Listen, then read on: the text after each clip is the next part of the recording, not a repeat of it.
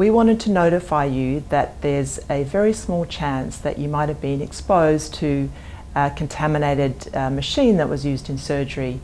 Internationally, these machines have been known to be contaminated with this very rare uh, bug or bacteria and some of these machines have been used in some public hospitals in New South Wales and we just wanted to inform you of that so that if you have any complications related to this, there's an opportunity for you to seek early treatment. The risk to patients is currently extremely low. In Australia, there's been one case in Queensland, there's been no cases in New South Wales, and worldwide there's been less than 100 cases. So we believe the risk to be extremely low to patients. The bacteria is very slow growing and the cases that have been reported have occurred between three months and up to five years after the surgery.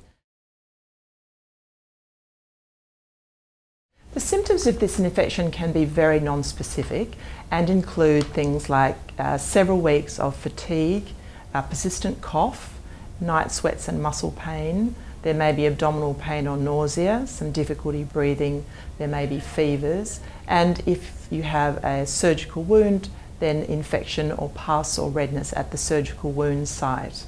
Uh, there may also be joint pain, weight loss or vomiting. If you have one or more of these symptoms for more than two weeks, we would recommend that you see your general practitioner for more advice. I would like to emphasise that this is not an infectious or contagious condition or disease. There is no risk of this infection being spread to others, either your family or other members of the public.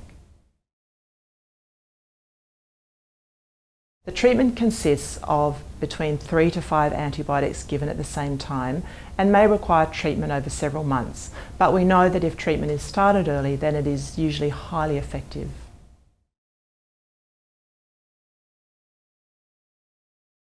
New South Wales Health is very keen to help and has set up two information lines for further information depending on where surgery was conducted. If the surgery was done at the Sydney Children's Hospital network, the number to call is 02 9845 3442. If your surgery was conducted in the southeastern Sydney Local Health District, Prince of Wales or St George hospitals, the information line is 1800 875 526. New South Wales Health would like to reassure any patient who's had open heart surgery in the last five years that the risk of infection is extremely low. New South Wales Health has taken a number of actions that are in line with international recommendations to reduce this risk as much as possible.